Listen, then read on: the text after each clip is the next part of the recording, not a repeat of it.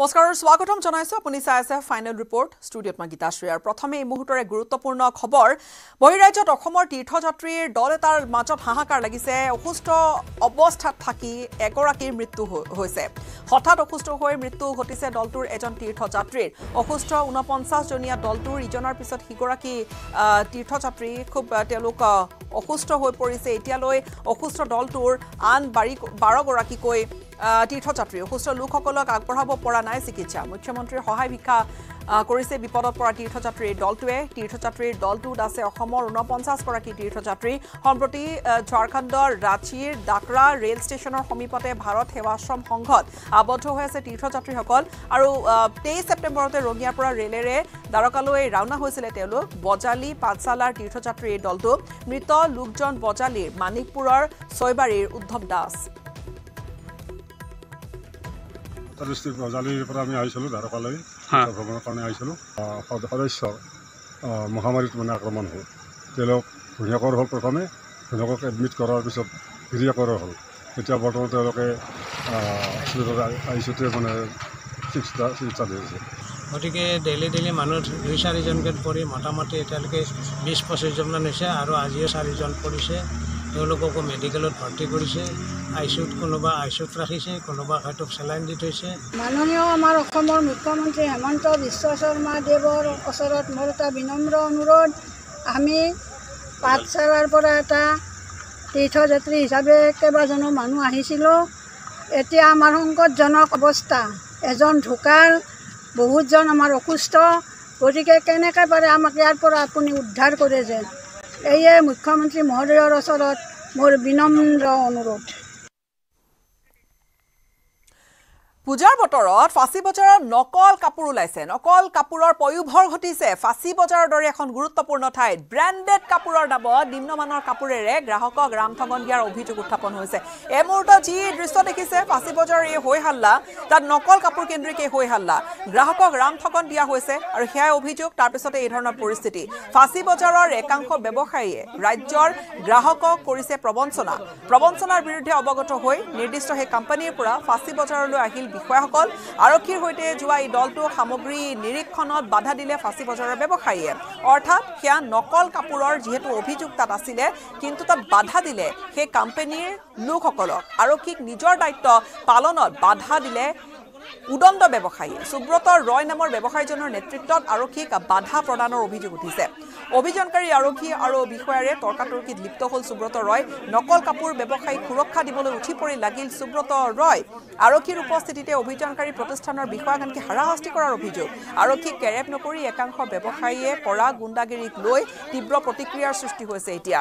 বিভিন্ন সময়ত নিজকে বিজেপি নেতা বুলি পৰিচয় দিয়ে সুব্ৰত ৰয় হেনো।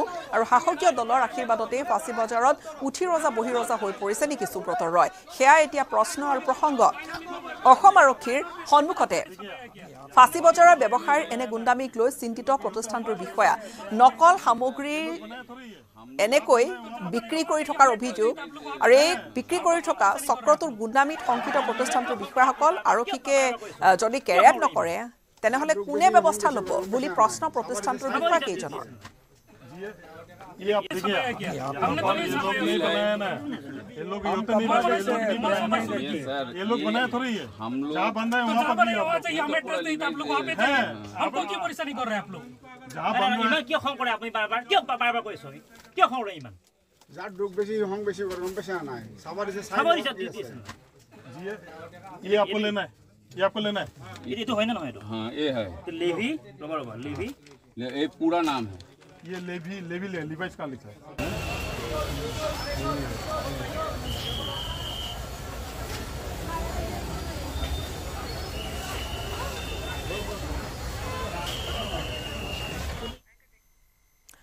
এন আৰ চিক লৈ মুখ্যমন্ত্ৰীৰ বিৰুদ্ধে সৰব এ আই ডি এফৰ বিধায়ক এ আই ডি এফৰ নেতা এন আৰ চিক লৈ মুখ্যমন্ত্ৰীয়ে বিভ্ৰান্তিকৰ কথা বতৰা সৃষ্টি কৰা বুলি মন্তব্য এ আই ডি এফৰ।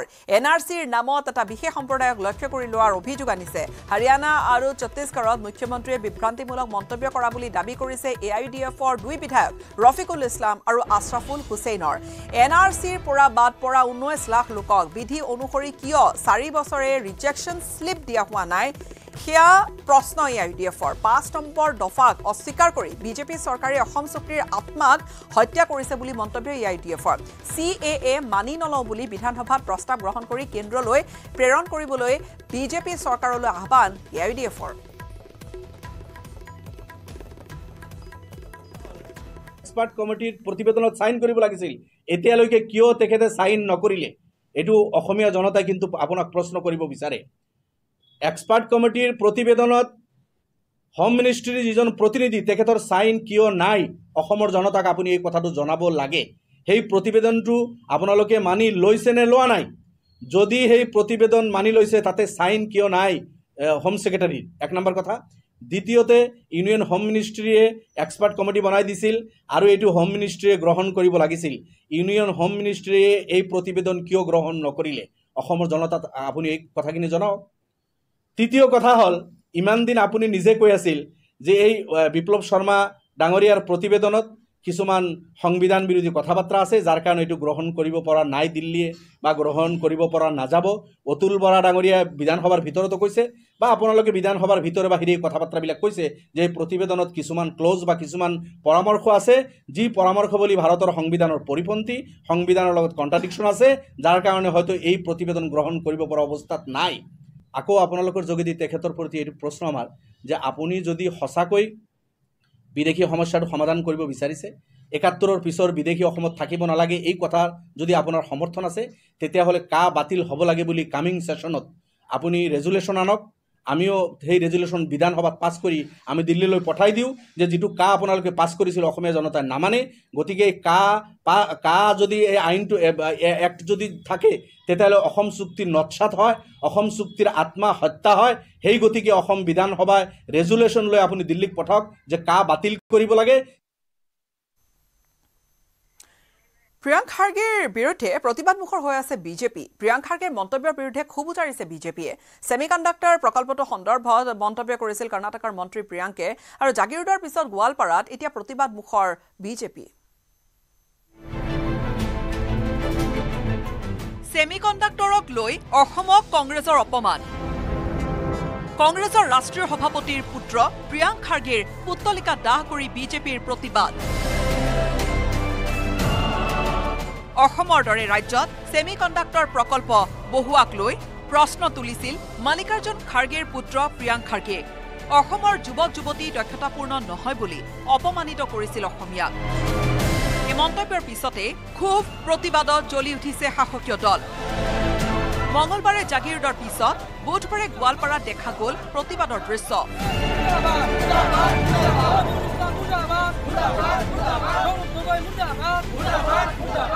বিজেপিয়ে কৰা প্ৰতিবাদৰ পিছতে প্ৰতিক্ৰিয়াত মুখৰ হৈ পৰিছে কংগ্ৰেছী সাংসদ গৌৰৱ গগৈ।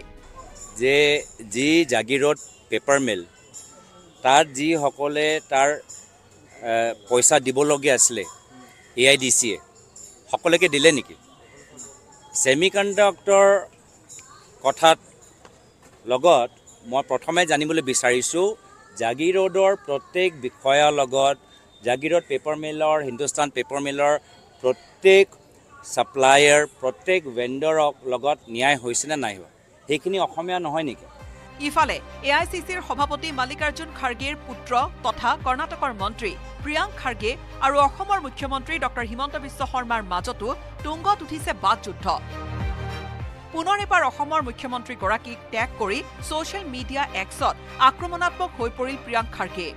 কলে ছেমি কণ্ডাক্টৰ প্ৰকল্পক লৈ অসমৰ কথা আঙুলিয়ালে হিমন্ত বিশ্ব শৰ্মা আৰু প্ৰধানমন্ত্ৰীয়ে অসমক ৰক্ষণাবেক্ষণ দিবলৈ গৈ তাক মাষ্টাৰ ষ্ট্ৰোক বুলি কয়। আৰু কৰ্ণাটকৰ আগ্ৰহ দেখুৱালে তাক অসম বিদ্বেষ আখ্যা দিয়ে। মুখ্যমন্ত্ৰী হিমন্ত বিশ্ব শৰ্মাই ঠাট্টাৰ সুৰত তাৰ প্ৰত্যুত্তৰ দি কলে অসমে অতি কম সময়ৰ ভিতৰতে এনে এটা স্থান তৈয়াৰ কৰিছে য'ত এতিয়া ডাঙৰ ডাঙৰ প্ৰখ্যাত কোম্পানীয়ে বুজাবুজি কৰিবলৈ আহে। অথচ যিখন ৰাজ্য এসময়ত সন্ত্ৰাসবাদৰ ঘাটি বুলি পৰিচিত আছিল কৰ্ণাটকৰ মন্ত্ৰীয়ে ছেমি কণ্ডাক্টৰ প্ৰকল্পক লৈ যি কথা ক'লে তাক লৈ এটা কথাই ক'ব পাৰোঁ যে কৰ্ণাটকৰ দৰে আগবঢ়া এখন ৰাজ্যই অসমক স্বীকৃতি দিবলৈ বাধ্য হোৱাৰ বাবে ভগৱানক অশেষ ধন্যবাদ। ইফালে ছেমিকণ্ডাক্টৰ প্ৰকল্পক লৈ কংগ্ৰেছ নেতাৰ অসন্তুষ্টি দেখি মন্ত্ৰী পীযুষ হাজৰিকায়ো কৰিলে কটাক্ষ ক'লে জাগিৰোডত ছেমিকণ্ডাক্টৰ প্ৰকল্প হোৱাৰ বাবে কংগ্ৰেছীসকলৰ অৱস্থা বেয়া। এইবিলাক উল্টা পুল্টা কথা কৈ আছে আৰু উল্টাবোৰ বকি আছে। ৰাইজে জানে আপোনালোকে এইকেইদিন চাব। আপোনালোকৰ টিভিৰে ছ'চিয়েল মিডিয়াৰ যিখন ডিজিটেল মাধ্যম আছে তাৰ কমেণ্টবিলাক পঢ়িব আৰু তেখেতলোককো পঢ়িব দিব। মানুহে কি ৰূপ লৈছে? আমি ৰাইজৰ কাৰণে কাম কৰিছোঁ আৰু কৰিম। ৰাইজক সেৱা কৰিম আৰু সেইকাৰণে আমি পুনৰ শাসনলৈকে আহিম। মুখ্যমন্ত্ৰীয়ে অসমত ইমান ডাঙৰ উদ্যোগ অনাটো তেওঁলোকে সহ্য কৰিব পৰা নাই। সেয়ে আবুল তাবুল বকিছে কংগ্ৰেছীসকলে। Bureau' report news eighteen Assam north east.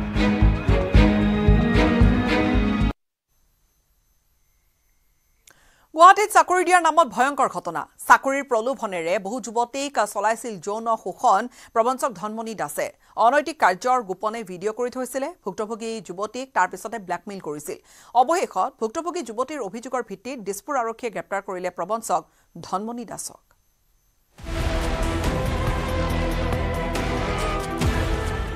চাকৰিৰ প্ৰলোভনৰ নামত এইবাৰ কলংকই চেৰালে সীমা। ধনৰ বেপাৰ নহয় নাৰী দেহৰ খেলা লম্পট প্ৰবঞ্চকৰ। আৰক্ষীৰে গিজ গিজাই থকা খোদ ৰাজধানীত ধুৰন্ধৰ ধনমণিৰ ধৃষ্টতা। চাকৰি দিয়াৰ নামত যুৱতীক মাতি হোটেলত চলাই ধৰ্ষণ নিৰ্যাতন যৌনতাৰ বেহা। গোপনে ভিডিঅ' কৰি চিকাৰত পৰা যুৱতীক কৰে ব্লেকমেইলিং লম্পট প্ৰবঞ্চক ব্লেকমেইলাৰ ধনমণি দাসৰ কাণ্ডই দিছপুৰত লগাইছে তোলপাৰ। প্ৰথমে চাকৰিৰ প্ৰলোভন তাৰ পাছত হোটেললৈ আনি যৌন নিৰ্যাতন আৰু তাৰ পাছত ব্লেকমেইলিং এনেদৰেই দীৰ্ঘদিনে এইটো ধুৰন্ধৰ ধনমণি দাসে চলাই গৈছিল নিজৰ কুকৰ্ম। চাকৰি প্ৰত্যাশী নিবনুৱা যুৱতীক চাকৰিৰ আশা দি পেলাইছিল ভয়ংকৰ জালত চাকৰি প্ৰাৰ্থী যুৱতীক নিজৰ চিকাৰৰ বাবে ধুৰন্ধৰ ধনমণিয়ে নিজাকৈ বনাই লৈছিল বাট। স্বাস্থ্য বিভাগৰ চতুৰ্থ বৰ্গত চাকৰি কৰা ধনমণিয়ে প্ৰথমে ছ'চিয়েল মিডিয়াত দিয়ে স্বাস্থ্য বিভাগৰ চাকৰি দিয়াৰ বিজ্ঞাপন।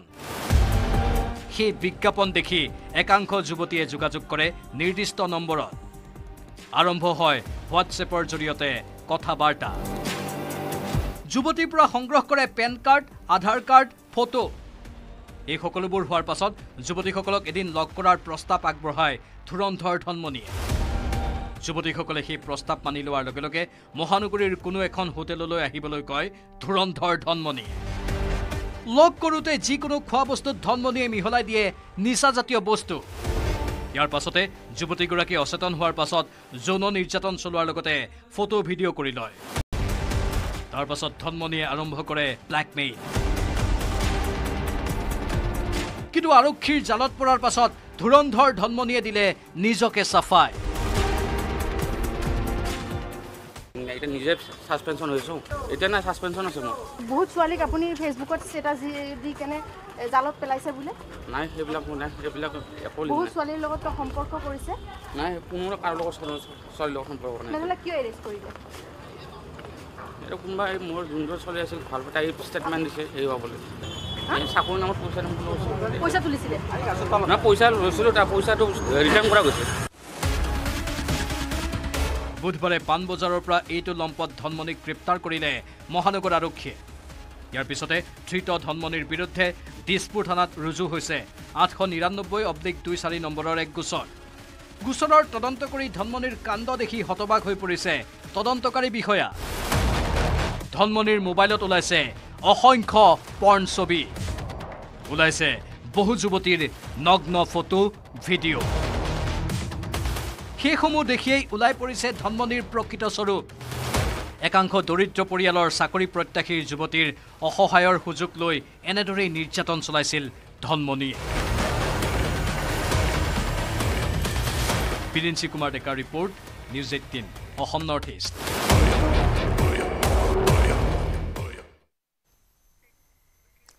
ডিগবৈত আৰক্ষীৰ কব্জাৰ পৰা আছামীয়ে পলায়ন কৰিছে। তিনিচুকীয়া জিলা কাৰাগাৰলৈ নিয়াৰ সময়তে পলাল দুটাকৈ আছামী পুনৰ গ্ৰেপ্তাৰ এটা আছামী কিন্তু আন এটা বৰ্তমানেও পলাতক হৈ আছে অৰ্থাৎ পলায়ন কৰি দিলে। পলায়নৰ পিছতে গ্ৰেপ্তাৰ হৈছে আছামী ৰাজেন মুৰা বৰ্তমানেও পলাতক আছামী ৰাতুল সোণোৱাল আৰু মঙলবাৰে ড্ৰাগছৰ সৈতে গ্ৰেপ্তাৰ হৈছিলে দুয়ো আৰক্ষীৰ জিম্মাত আছিলে কিন্তু সুযোগ পাই পলাই দিলে আৰক্ষীৰ কব্জাৰ। বেহুফালি।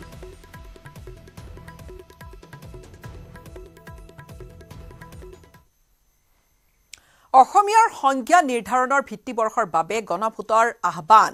এ আই ডি এফৰ দলগাঁৱৰ বিধায়ক মুজিবুৰ ৰহমানৰ। ঊনৈছশ এসত্তৰ চন আৰু ঊনৈছশ একাৱন্ন চনৰ এই ভিত্তিবৰ্ষক লৈ বিতৰ্কৰ গোটেই মাজতে এই আহ্বান কৰিছে বিধায়কজনে।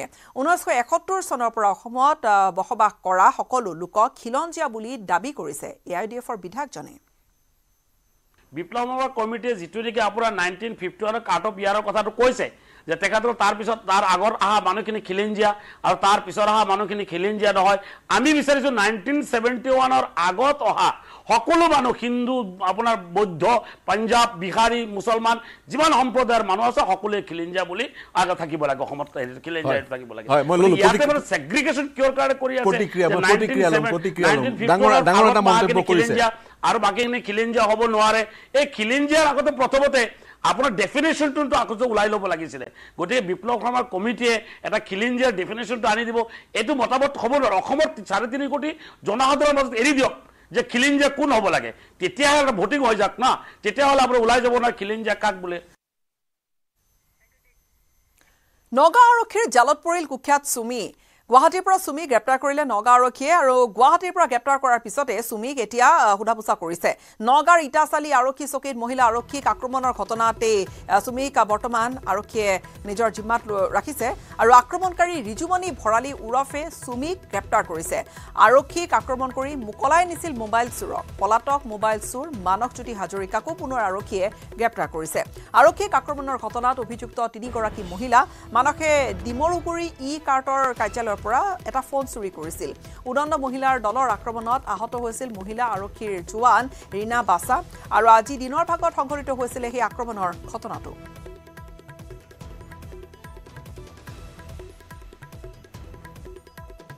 ইনষ্টাকাৰ্ট নামৰ কোম্পানীটোত এটা কিবা এটা মোবাইল ফোন চুৰিৰ সন্দৰ্ভত তেওঁলোকৰ এমপ্লয়ী এজনে তাতে গৈ ফেমিলি মেম্বাৰ্ছ লৈ গৈ পেলাই তাতে এটা অপ্ৰীতিকৰ পৰিৱেশ সৃষ্টি কৰিছিলে।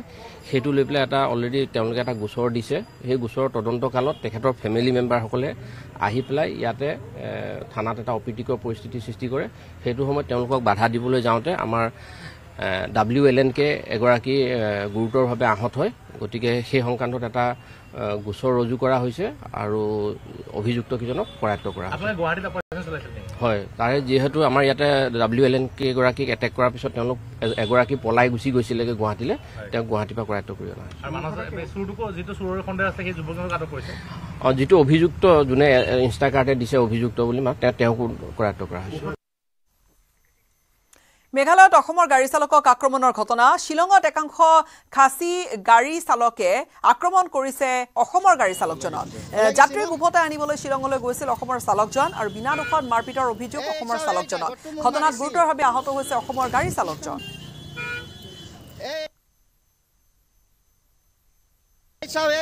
মোক মাৰিছে। खुद ही हमको मार दिया ये खुद ही हमको मार दिया फाटी सी देखी तेज ओलाइसी ওলাই গৈছে ন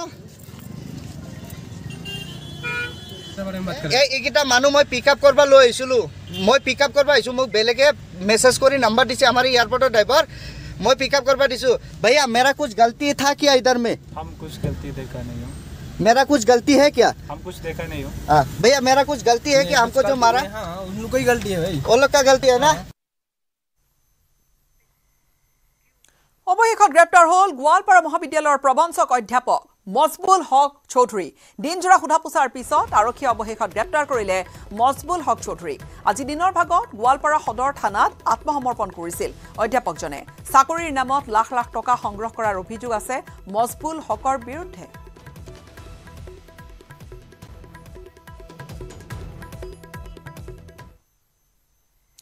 যোৰাবাটত কটন বিশ্ববিদ্যালয়ৰ অধীক্ষকক নৃশংসভাৱে হত্যা। ৰাষ্ট্ৰীয় ঘাইপথৰ দুৰ্ঘটনাক লৈ কটনৰ প্ৰশাসনীয় অধীক্ষক ধ্ৰুৱজ্যোতি বৰ্মনক ৰদেৰে মৰিয়াই মৰিয়াই হত্যা কৰিলে ট্ৰাক চালকে। গুৱাহাটীৰ পৰা তেজপুৰলৈ গৈ আছিল ধ্ৰুৱজ্যোতি বৰ্মন। ঘটনাস্থলীতে ট্ৰাক এৰি এৰি পলায়ন কৰিছে চালক আৰু হেণ্ডিমেনে। ধ্ৰুৱজ্যোতি বৰ্মনৰ মৃত্যুৰ খবৰে শোকাহত কৰি তুলিলে কটন বিশ্ববিদ্যালয়ৰ প্ৰতিজন অধ্যাপক তথা ছাত্ৰ ছাত্ৰীক নিৰাপত্তাহীন ৰাষ্ট্ৰীয় ঘাইপথ। দিন দুপৰতে কটনৰ প্ৰশাসনীয় অধীক্ষকক হত্যা। ট্ৰাক চালকে মৰিয়াই মৰিয়াই হত্যা কৰিলে ধ্ৰুৱজ্যোতি বৰ্মনক।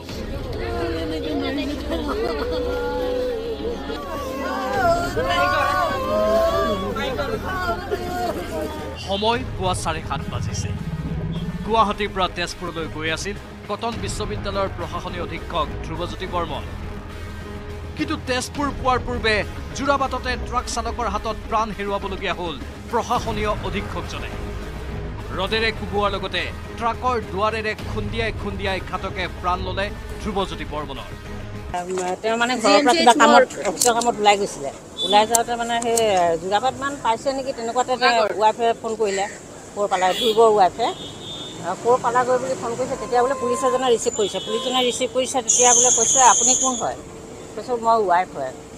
আপোনাৰ হাজবেণ্ডৰ এক্সিডেণ্ট ডাঙৰ এক্সিডেণ্ট এটা হ'ল আমি জি এম চি এইচলৈ নি আছোঁ এনেকৈ বুলি ক'লে বোলে। প্ৰকৃততে যোৰাবাটত কি হৈছিল? পৰিয়ালৰ মতে তেজপুৰলৈ ব্যক্তিগত বাহনেৰে গৈ থাকোঁতে যোৰাবাটৰ সমীপত পিছফালৰ পৰা খুন্দা মাৰিছিল ট্ৰাকে। তাকে লৈ ট্ৰাক চালকৰ সৈতে তৰ্কাতৰ্কি হৈছিল বৰ্মনৰ তাৰ পাছতে ট্ৰাক চালকে ধ্ৰুৱজ্যোতি বৰ্মনক হত্যা কৰা বুলি দাবী কৰিছে পৰিয়ালৰ লোকে। পুলিচে ক'লে যে কোবাইছে নেকি নাকে মুখে তেজ ওলাই আছে। আৰু তাৰ গাড়ীখনত কেছ কৰাৰ কাৰণে সম্ভৱ সি নামি কেনে ক'ব গৈছে সি এনেই ল'ৰাটো বিৰাট চিনচিয়ে বহুত চিনচিয়ে। ক'ব যাওঁতে হ'ল সেনেকৈ হাতাহাতি লাগিল নেকি? দুৰ্ঘটনা সংঘটিত কৰা ট্ৰাকখনৰ number N L zero' one A H two seven eight nine. ঘটনাৰ পিছৰে পৰা পলাতক ট্ৰাক চালক।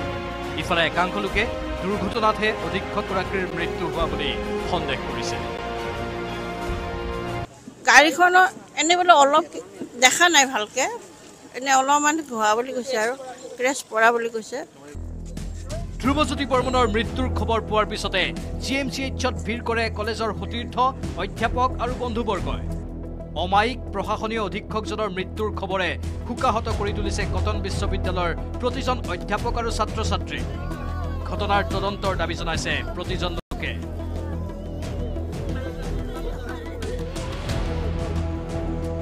জি এম চি এইচত মৰণোত্তৰ পৰীক্ষাৰ অন্তত ভেটাপাৰাৰ মিলন নগৰৰ বাসগৃহলৈ অনা হ'ল ধ্ৰুৱজ্যোতি বৰ্মনৰ মৃতদেহ। শোকাকুল পৰিৱেশৰ মাজত বৰ্মনৰ সকলো ৰীতি নীতি সম্পন্নৰ পিছত নিয়া হয় কটন বিশ্ববিদ্যালয়লৈ।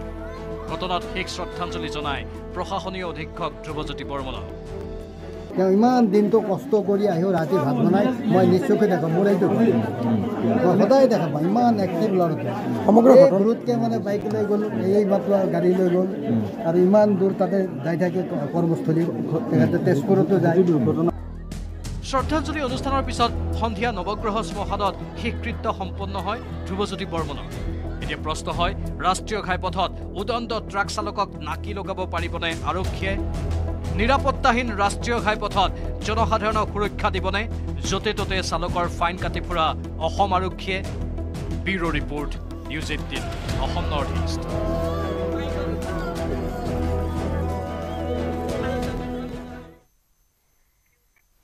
দিল্লীত আন্তঃৰাষ্ট্ৰীয় ড্ৰাগছ মাফিয়াৰ ঘাটি উৎখাত কৰা হৈছে য'ত দিল্লীত প্ৰায় দুহেজাৰ কোটি টকাৰ কোকেইন জব্দ কৰা হৈছে। পাঁচশ ষাঠি কিলোগ্ৰাম কোকেইনৰ সৈতে চাৰিজনক গ্ৰেপ্তাৰ কৰা হৈছে। দিল্লী আৰক্ষীৰ এটা বৃহৎ সফলতা দিল্লী আৰক্ষীৰ জালত পৰিছে ড্ৰাগছ মাফিয়া তুষাৰ গোৱেল ধৃত তুষাৰৰ ঘৰ দিল্লীৰ বসন্ত বিহাৰত। তুষাৰৰ দুই সহযোগী হিমাংশু আৰু অৰংজেবক গ্ৰেপ্তাৰ কৰিছে আৰক্ষীয়ে। ভাৰত জৈন নামৰ আন এজনকো আৰক্ষীয়ে গ্ৰেপ্তাৰ কৰিছে আৰু এতিয়া আৰম্ভ হৈছে মাৰাথন জেৰা। তুষাৰ হিমাংশু অৰংজেবৰ পৰা জব্দ কৰা হৈছে পোন্ধৰ কিলো কোকেইন। গুদামৰ পৰা জব্দ কৰা হৈছে বাকী পাঁচশ কিলোগ্ৰামৰো অধিক কোকেইন। অৰ্থাৎ এটা বৃহৎ চক্ৰ এটা বৃহৎ ৰেকেট। কোকেইন সৰবৰাহত মধ্যপ্ৰাচ্যৰ দেশৰ সংযোগ থকাৰ তথ্যও লাভ কৰিছে। দেওবাৰে তিলক নগৰত হেৰইন আৰু কোকেইনৰ সৈতে গ্ৰেপ্তাৰ হৈছিল আফগানিস্তানৰ দুই নাগৰিক। আফগানিস্তানৰ এই দুই নাগৰিকক গ্ৰেপ্তাৰ কৰাৰ পিছতে দিল্লী আৰক্ষীৰ এটা বৃহৎ অভিযানত এই ডাঙৰ সফলতা उसका नाम है तुषार गोयल ये वसंत विहार दिल्ली का रहने वाला है और अ, आप समझ सकते हैं कि पॉश एरिया का रहने वाला कैरेक्टर है ये इसके साथ में इसके दो साथी और हैं एक हिमांशु और औरंगजेब जो इसके साथ हैं प्लस एक भरत जैन नाम का रिसीवर जो कि कुरला वेस्ट मुंबई से रिसीव करने आया था वो भी पकड़ा गया है। इन तीनों के पास से जो अ, पहले तीन जो नाम मैंने आपके सामने लिए हैं दैट इज़ तुषार गोयल हिमांशु और औरंगज़ेब इनके पर्सनल पोजेशन से करीब 15 केजीज के करीब अ, कोकीन बरामद हुई। ये रिसीवर पकड़ा गया। ये गोडाउन से बाहर निकल के आ रहे थे रिसीवर को देने के लिए जो भरत जैन को देने के लिए। और जब ये देने आ रहे थे, उसी टाइम पर इनको अप्रहेंड किया गया। फिर बाद में उस गोडाउन में, जो कि महिपालपुर एक्सटेंशन में है, उस गोडाउन में सर्च ली गई उसके थर्ड फ्लोर पे तो वहाँ रिमेनिंग जो कोकीन और मेरवाना है, वो मिली। करीब 22 कार्टून्स 23 कार्टून्स मिले हैं और करीब आठ यूएस पोलो शर्ट के कवर्स हैं, जो कवर्स में उनमें मिली है ये मेरवाना सॉरी कोकीन और मेरवाना वहीं एक बॉक्स में मिली है। इसके जो फॉरवर्ड और बैकवर्ड लिंकेजेस हैं, ये मिडल ईस्ट से कंट्रोल किया जा रहा था इसको मिडल ईस्ट के कंट्री से, जहाँ पर अभी तक सपोजिटली जो एक बड़ा हैंडलर है, वो दिखाई दे रहा है। वो अभी इन्वेस्टिगेशन का विषय है। और ये दिल्ली में भी इंडिया की अलग अलग स्टेट से यूपी से और कहीं और से आई हुई है। तो इसके फॉरवर्ड बैकवर्ड लिंकेजेस अभी हम वेरीफाई कर रहे हैं। নগাঁও ড্ৰাগছ মাফিয়াই অপহৰণ কৰিলে ড্ৰাগছ মাফিয়াক ইটাপাৰাৰ ড্ৰাগছ মাফিয়া মফিজুল হকক অপহৰণৰ ঘটনা আৰক্ষীৰ জালত পৰিছে অপহৰণকাৰী দুই ড্ৰাগছ মাফিয়া। শ্বহীদুল হক আৰু শ্বৰিফুল হকক গ্ৰেপ্তাৰ কৰিছে আৰক্ষীয়ে। নগাঁও আৰক্ষীয়ে লাওগাঁৱৰ পৰা উদ্ধাৰ কৰিছে অপহৃত মফিজুল হকক। অপহৰণকাৰী ড্ৰাগছ মাফিয়াই মুক্তিপণ হিচাপে দাবী কৰিছিল দুই লাখ টকা। অপৰাধ শাখাৰ অতিৰিক্ত আৰক্ষী অধীক্ষক পাৰ্থ প্ৰতিম শইকীয়াৰ নেতৃত্বত চলিছিল এই অভিযান।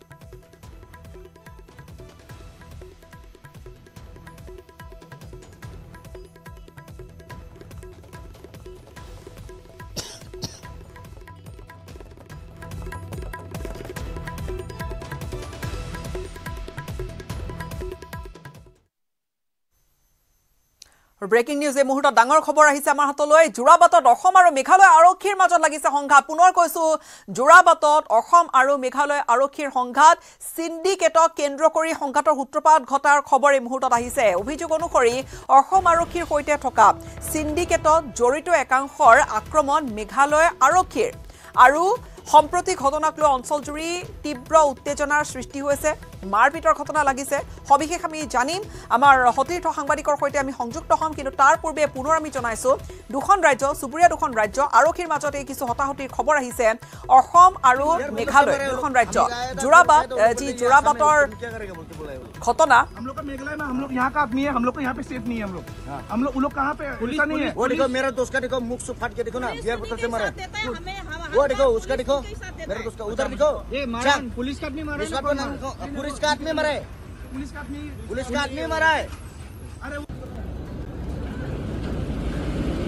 আমাৰ হাতলৈ অহা এই মুহূৰ্তৰ খবৰ যোৰাবাটৰ ঘটনা অসম আৰু মেঘালয় আৰক্ষীৰ মাজত সংঘাত লাগিছে। অসম আৰক্ষী আৰু মেঘালয় আৰক্ষীৰ একাংশৰ মাজত সংঘাত।